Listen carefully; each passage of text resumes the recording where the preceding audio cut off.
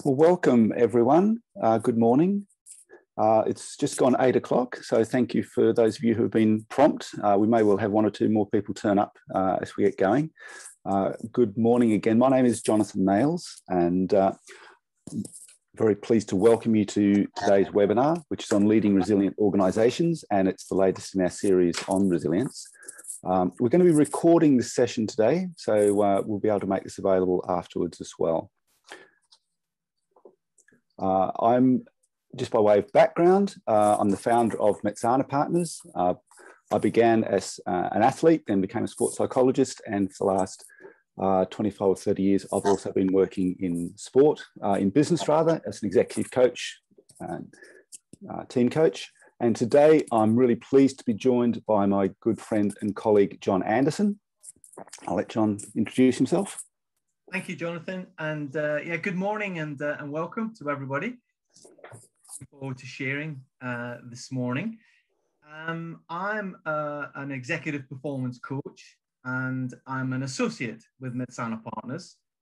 Uh, my background, I have experience in the Royal Air Force and also um, as a coach and performance director in, uh, in high performance sport. And more recently, um, as an executive performance coach, particularly working with uh, clients in a, in a, in a business environment.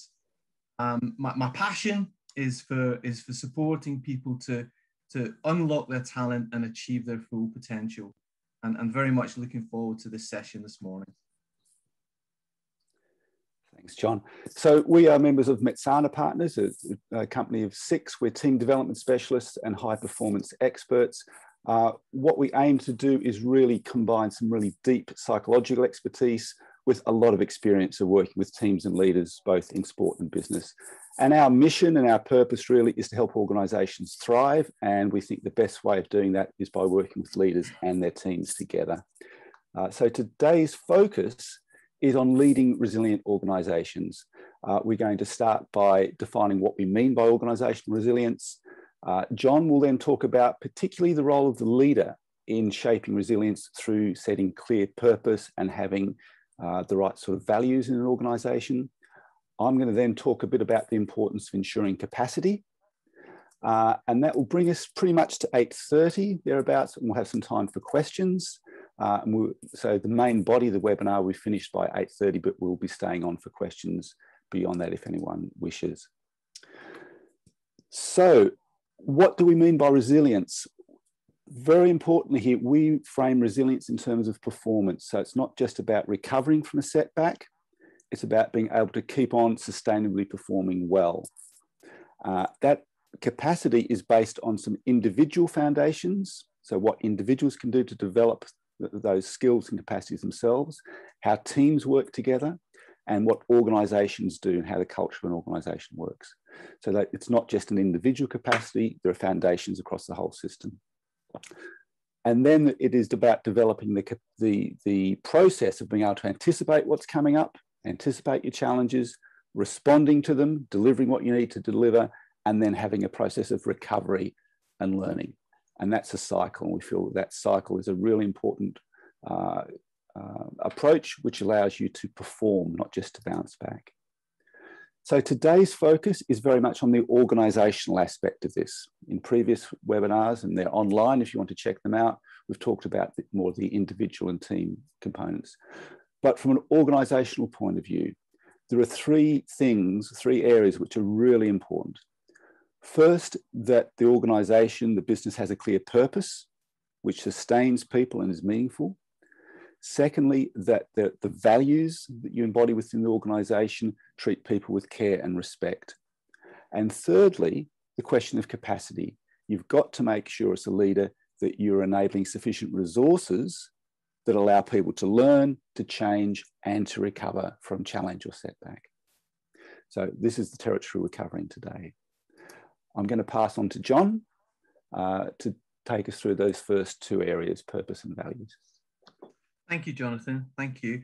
So, as Jonathan has said, um, the first step really in preparing the organizational foundations for resilience is to identify your purpose. and, and we see this very much as the role of the leader to, to, to actually be the catalyst uh, to support the team to identify their purpose. So what I'd like to do is, is, is share a story uh, and a personal experience um, about the importance of being really clear on your purpose.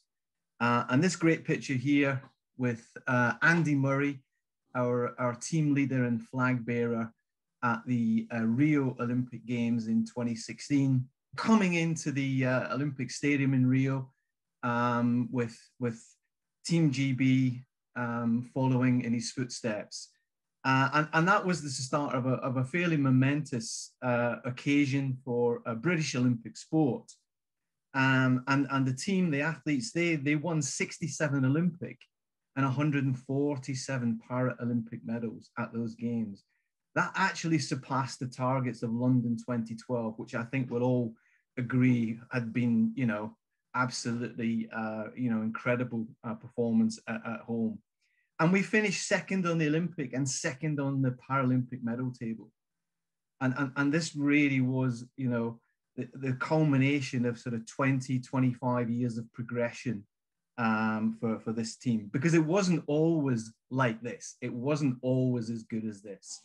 So, so let's just go back then from, from that high of, uh, of Rio in 2016. And, and this, this uh, slide here, and, and perhaps Mark Hoyle will, will recognize this location. This, this Portakabin was, was actually the headquarters of British canoeing uh, in 1996 when we got back from the Atlanta Olympic Games. Now, those games, we, we had some very talented athletes and there were some good performances, but Team GB won one gold medal and we were 37th on the Olympic medal table. And for, for British canoeing, there was no room at the inn. There was no room in, in the centre at the National Water Sports Centre for us. So, so this was the headquarters. And this is kind of where we met and, and, and kind of started to articulate kind of what we were about, our, our why, and, and, and how we were going to recover from the low of Atlanta and, and, and take the program forward. So I think the, what I'd like to share is, is, is, is the important aspects of, of defining that purpose, defining your, your why. And I think the first thing is as leaders, because it is a leadership role to, to get this going, we, we need to provide real clarity of purpose and engage our people by supporting them to develop long-term goals that define what success depends on. That's the starting point. And from there, what we know is is that that passion and there and, and there was loads of passion in that canoeing team you know going to atlanta and that passion carried on. However passion by itself is not enough. What we need to do is provide real focus and energy around what will make the greatest difference to performance. So to be effective in our experience a purpose needs to be inspiring and challenging enough that it creates a positive tension. And absolutely importantly, it needs to be owned and believed in by the leadership team. And as the leader, your level of purpose and energy for that is really what will distinguish a true purpose.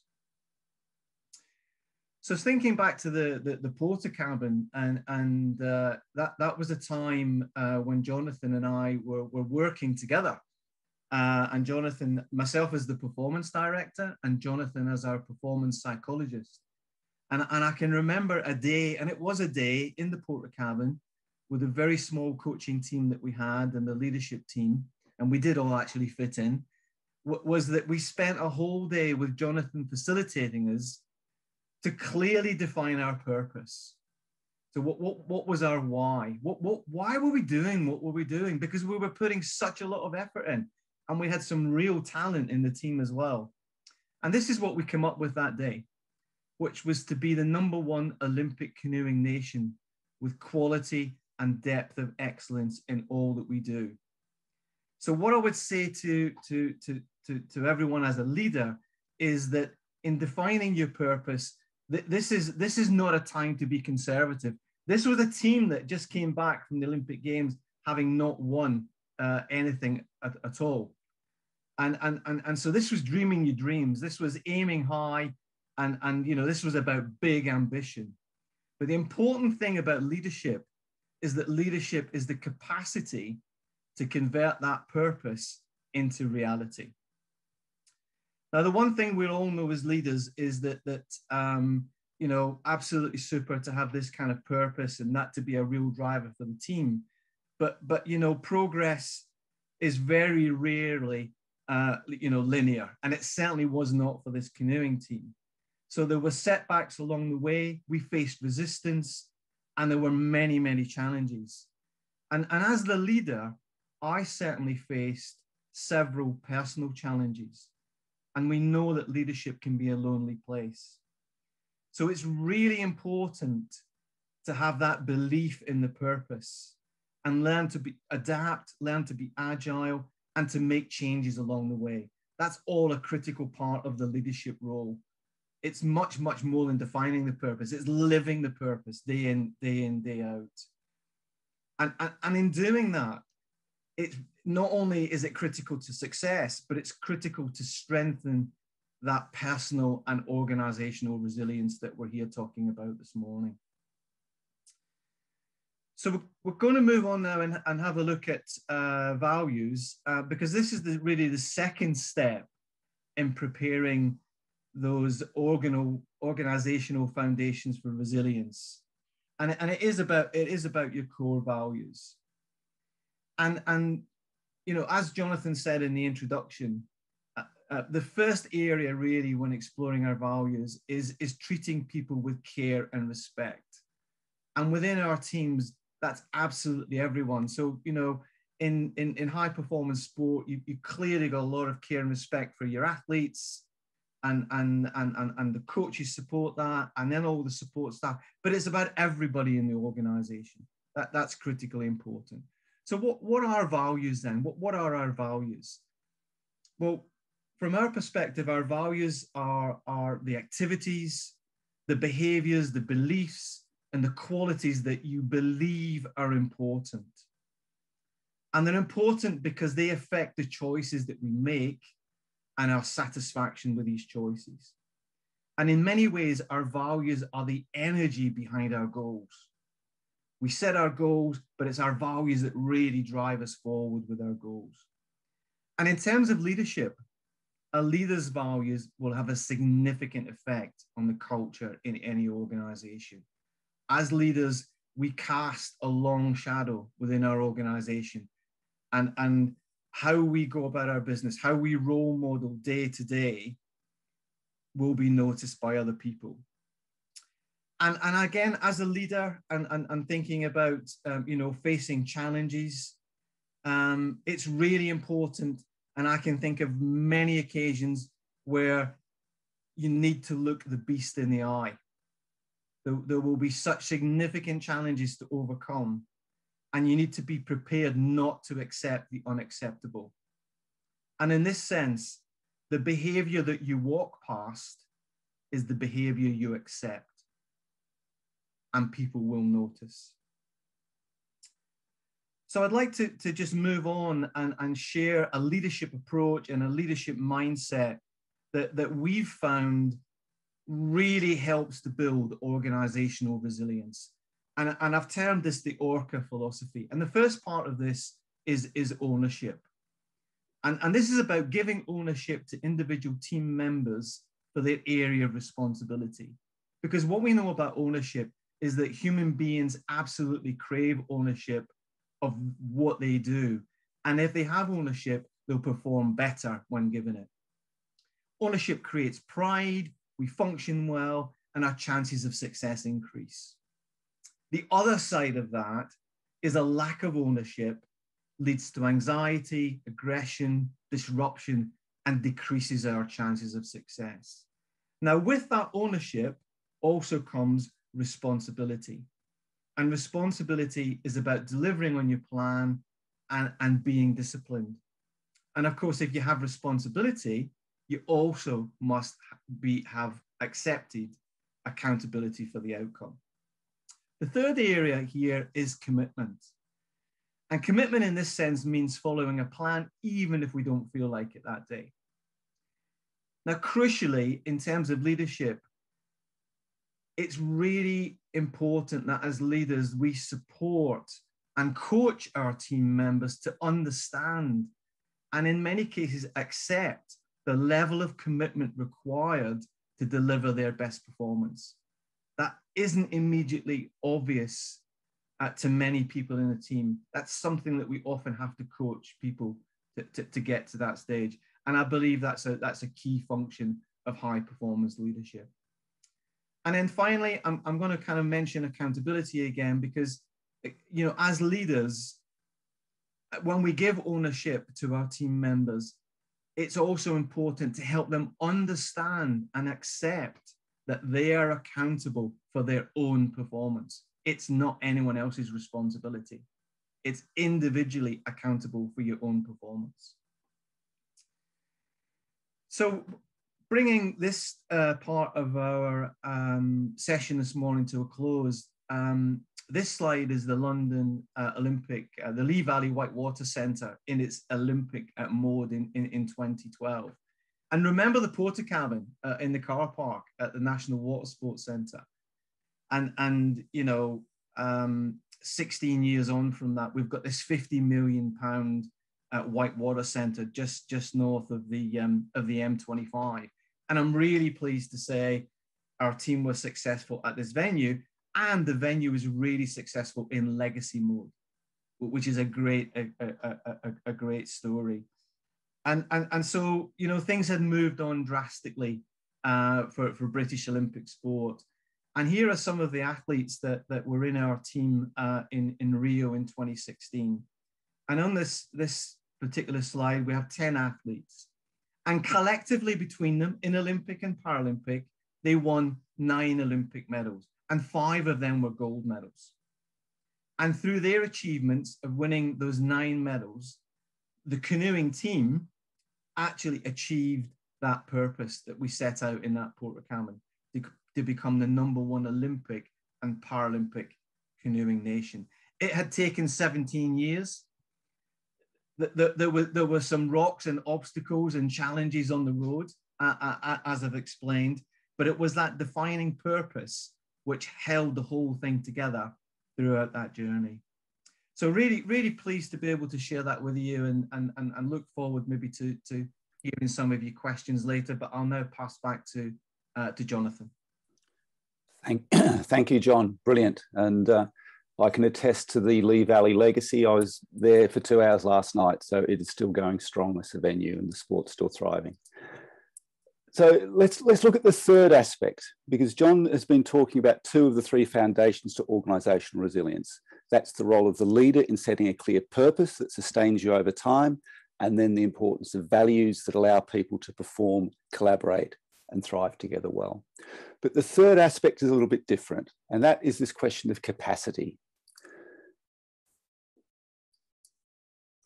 The key, the key point I want to make here is that resilience relies more on capacity than efficiency. And for many years, socially, politically, economically, we've driven for efficiency, efficiency, efficiency. We've cut things to the bone. We've tried to create everything so that it's just in time, it's very lean. And, and that has brought huge benefits. So I'm not against efficiency here at all. But it's really interesting to use the sporting example. Highly trained athletes who are super lean, super fit, who are training at the edge all the time, you know what? They are far more prone to catching cold than you or I. Yeah. So efficiency comes at a cost. And that cost is resilience. Because the more uh, efficient you are, the more you run the risk of actually losing the capacity you need to perform under pressure and to perform the unexpected. So for years, we've pursued efficiency, but at what cost, and particularly the cost of resilience. So let me give you an example of this. Uh, smart motorways. I think most of us are from the UK on this call today.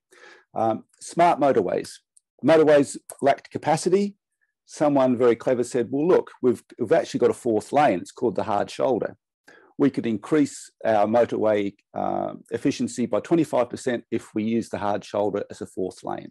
That would be great. Let's, so let's re-engineer our roads, take out the hard shoulder and make that a fourth lane. We'll put in some clever satellite monitoring and speed sensors and everything so we can adapt.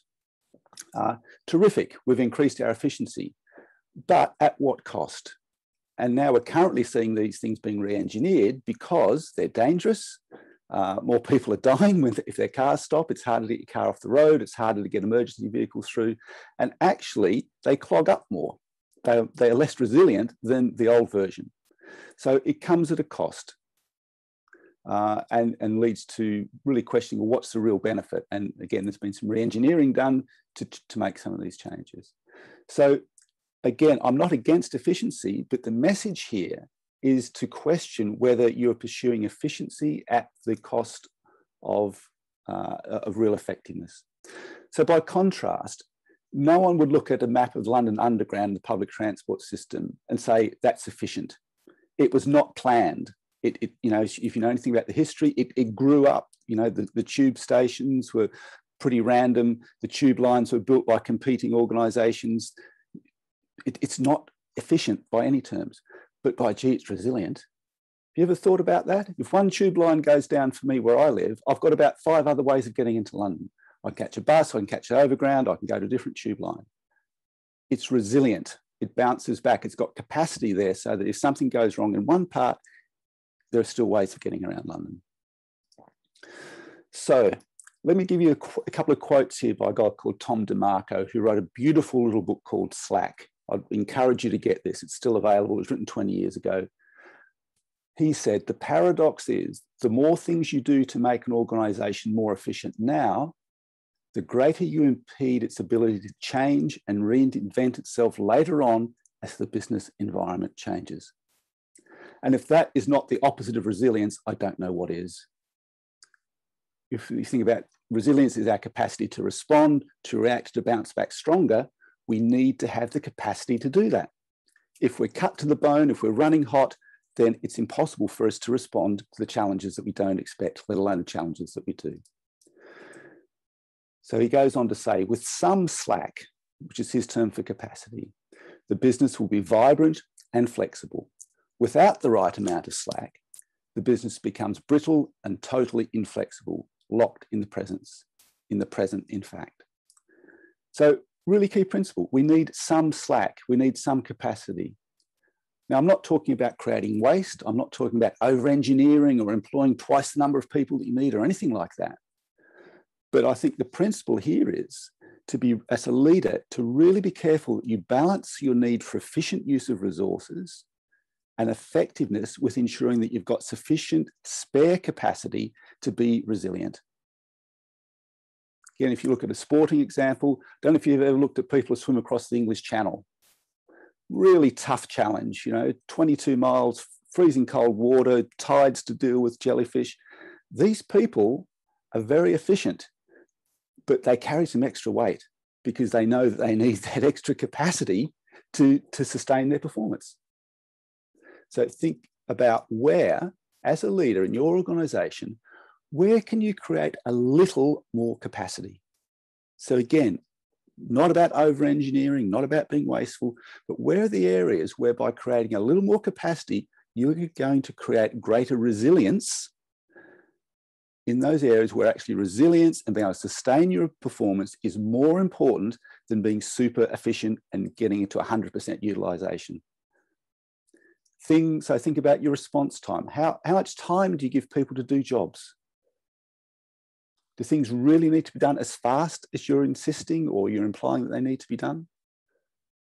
What are the things which actually can be done just as well tomorrow as can be done today? So then you can do the things that you need to do today, today. But does everything need to be done today? Think about your time. Think about your resources.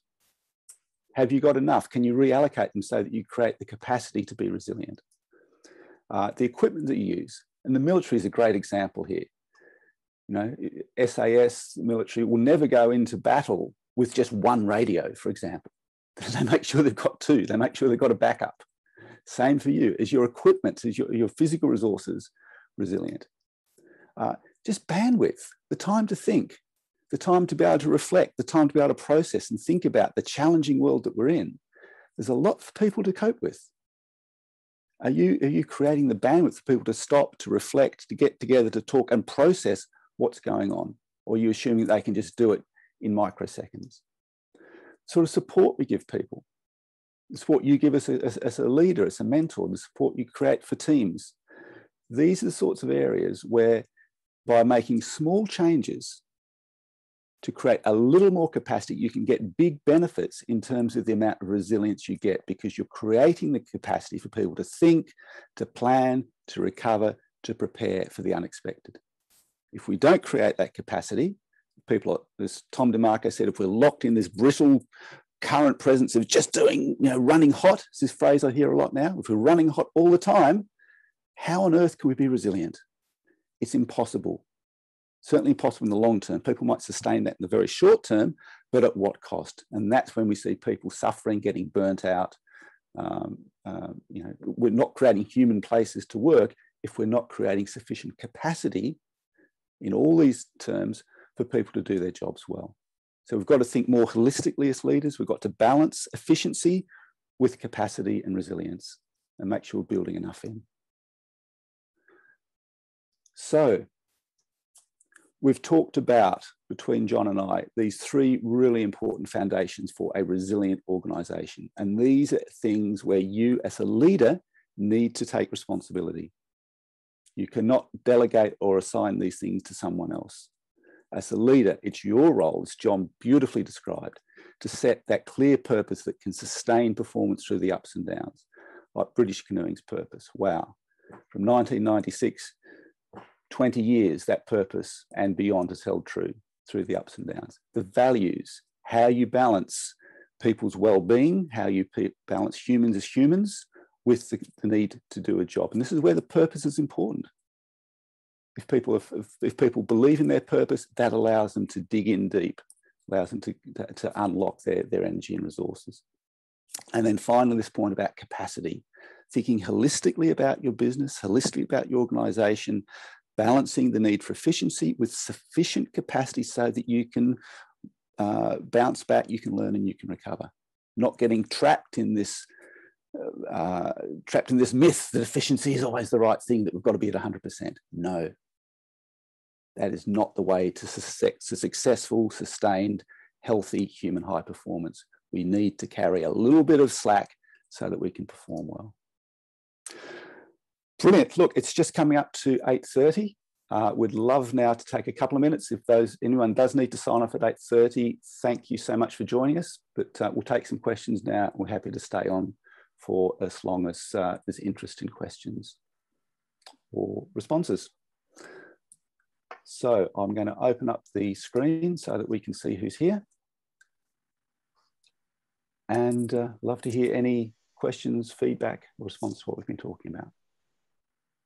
So just come off mute or wave your virtual hand or uh, Tim, hello, you're waving at, at us far away. Yeah, good morning, Jonathan, John, and everyone. Um, thanks so much. Really interesting half hour. Nice wake up call for me. Um, I guess the question I'd ask to you guys as leaders is courting feedback. You know, in my experience, it's the thing I need most, and it's the thing I don't always want to hear. But how do you approach that um, that healthy level of feedback with your team? accountability, I guess, comes into that as well. John, that sounds like it's a good one for you to respond to. Yeah, great. No, no, thanks, thanks, Tim. Thanks for that. Yeah, I, I mean, when I mentioned accountability, Tim, I think uh, uh again, it's a. I think there's a coaching role there uh, as leaders uh, to be to be to to be really explaining what accountability is. Then everyone's responsible for their individual performance. There is a collective about the team performance, and, and it's the purpose that drives that. But but I think it's it, it, it's it's it's just that it's that honesty, uh, Tim, and and it, and it's you know I talked about kind of calling out unacceptable behaviors, um, because it, as soon as you let something go, uh, it, it escalates, and and so I think having a, an open and honest uh, environment where where feedback just becomes a natural process, and and and I think if I think back to um, you know, my time working in a high performance program, some of the strongest feedback, uh, Tim, that, that, that, we used to get came from the athletes. They, they, they became the guardians of the of the values and the behaviors. So so if they seen something that wasn't right, unacceptable, then they would they would give the feedback. And and and what we were doing, myself and the coaches, was coaching them how to give the feedback appropriately. Because as we know as leaders, that, that, that, that there's kind of a there's definitely a, you know a, a, good way of giving feedback so that, that it's taken on board and that, and that people kind of accept it. So I think I think it's about having that open, honest culture and and not not allowing uh, any kind of unacceptable behavior to, to go. You know, you know, you you really need to manage it in the moment. Is what I would say. Thank you. Uh, uh, Matt, good morning. Good morning, everyone from Guernsey. Um, I, I, really enjoyed that. Thank you. J John, one of your um, comments you made was around commitment, and you talked about the need to coach for commitment. And it's really interesting. So when, when I think about the athlete, the, an athlete is fully focused on that gold medal. Or, or in the military, you know, you've got someone basically 24/7 to work on the particular discipline you're trying to get awesome at. I kind of I reflect now in a in a kind of you know in a normal civilian uh, working environment we're actually we're being asked to, to be a much more flexible, uh, much more kind of friendly organization. And, and the young guys, especially, have got this idea of portfolio careers. They're wanting a lot, a lot more exposure, a lot more different stuff. But actually, that commitment takes time and it takes hours and it takes hard yards. And I see a real conundrum there in getting the two to balance really well. I just wondered if you could share your observations or comments on that thanks, Matt. And, and yeah, great, great question. And, and you've, you've kind of covered the full spectrum of my career there from the military into sport and, and now into high performance business. So, so thanks for that. And, and of course, what we know, Matt, is that there are more similarities between those three areas than there are differences. So, you know, commitment in one area, commitment in another area. We're talking about the same thing it's really interesting because because you know my, my experience uh, both in the military so working predominantly with um, operational aircrew fast jet pilots um, uh, and, and, and my time with sort of team gb is that you know individuals come into those environments and, and they are highly motivated highly mo- motivated you know to succeed they have a dream you know they have a mission um, and that motivation carries them pretty far along the way. However, and there is a however there, you need more than motivation. Motivation gets you so far. It's commitment that delivers the plan. It's commitment that actually delivers. And, and in my experience as a, as a coach, as a leader, um, actually having a process where, where, where, where you, you, you really coach people through the levels of what, what, what is what does commitment look like in this environment? Because it's it, the context is important. You know, to be successful in this business environment, you know, what level of commitment do we really expect from you, and how do you go about that? And and and and I kind of call the process, uh, Matt, from my high performance days, I call the process a commitment screen. You know, look, looking at looking at those behaviors um, that that are required, um, and and and how to overcome you know obstacles along the way because what we know is that that working on anything that's really significant you will face challenges and you will face obstacles. So so I, I have I've actually got kind of in my mind quite a structured process with individuals to help them identify through something I call a commitment screen exactly what that looks like and it's a journey and I think you articulated that really well it it, it, it, it takes time and and I, you know, I've never, I've never been under the misconception that, you know, just because someone is superbly talented, that that that with that talent comes the commitment actually to be able to kind of deliver, because the two, the two are sometimes not not in sync. Uh, yeah, I, I, think, I think, I think fundamentally it's about coaching, Matt, is, is what I would say.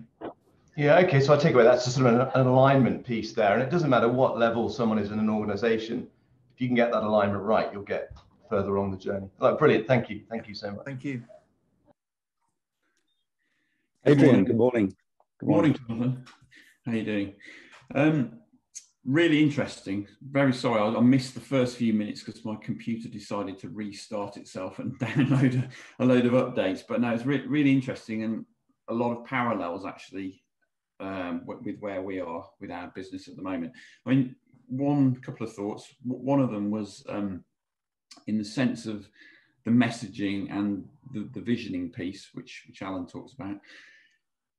Um, there's, there's a challenge, I think, where that has to scale up. So when you've got a bigger organization and you've got different layers to it, and people are perhaps motivated in slightly different ways, then I was just wondering if there's any thoughts on how you um, sort of cascade that simple vision down through a bigger, you know, a bit bigger organization and get everybody um, uh, buying into it in the same way that, that you described, obviously with a yeah. sort of Olympic team. Yeah, there's a couple. There's two key quick, two key questions to ask people, um, and it works top down and bottom up. If you start from the top, so we're going to be number one Olympic nation. The first question to ask is how are we going to do that? And that how immediately drops you down to the next level of detail. Well, we need good coaches. How are we going to do that? Well, we need the right athletes, and so on and so on and so on. How do we get good coaches? That drops you down to another level of detail. So from your from your purpose or your vision, asking how takes you down into the detail. Really important. Then from the from the, the grassroots up. So when someone's doing their job, and you ask, why are you doing this? And their why should take you to the next level up. And why are you doing that to the next level up? And why are you doing that till you get to your purpose? So asking how and why is how you create that synergy. And it should, you know, in, it, it's never going to be a complete match. But if you ask someone why they're doing it, why are you doing your job? If they can't give you an answer that somehow connects or then connects by one or two steps to your purpose, then you're out of alignment. It's not always a, it's not always a, a, a direct leap. You know, there's an old story about the you know the the, the sweeper in the, the, the the cleaner in NASA. You know, I'm putting man on the moon. That's one big step. Yes. For most people, there's a few steps in the way along the way, but you want to be able to get to that purpose. Yeah, yeah. And I guess it's the same with the um, with the behaviours that you know John, was talking about. Um, effectively you know, jumping on or, or, comment on, commenting on behaviours that aren't in alignment with our with our goals. Uh, and um, yeah, I guess that messaging in terms of what we're trying to achieve and, and, and that culture needs to be embedded sufficiently at each level such that you know the equivalent um, escalation or, or, or commenting uh, it happens at different levels of the business. Well, the thing, I'd make a comment there about values actually. Um, values don't really offer very much when everything's working well. If everyone's already behaving in a way that's in alignment with the values, you don't need the values. Values are most important when someone behaves in a way that's out of alignment with them because they're the reference point. The values are, are, give you permission to say, hey, that behavior isn't okay. You can't say that unless you've agreed what the value is in the first place.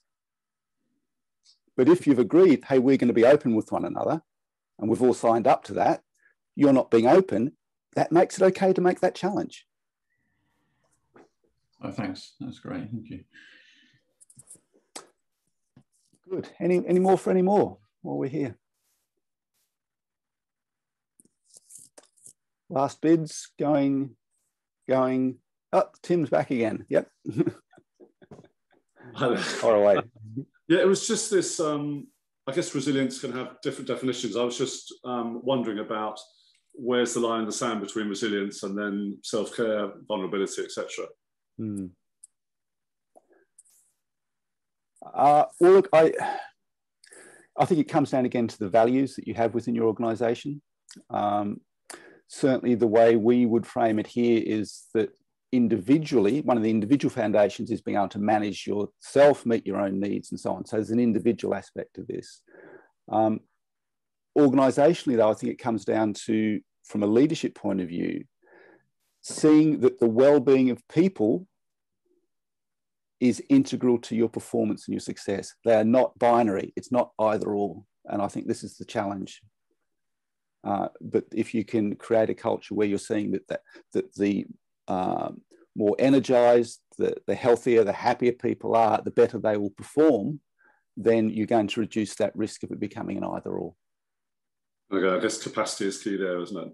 And there you go. And if you've got Yeah. sufficient capacity, then people have got time to recover and learn and everything else. If you don't have capacity, then you'll get stretched. Yeah. Thank you. Good. Uh, any final check? No? Terrific.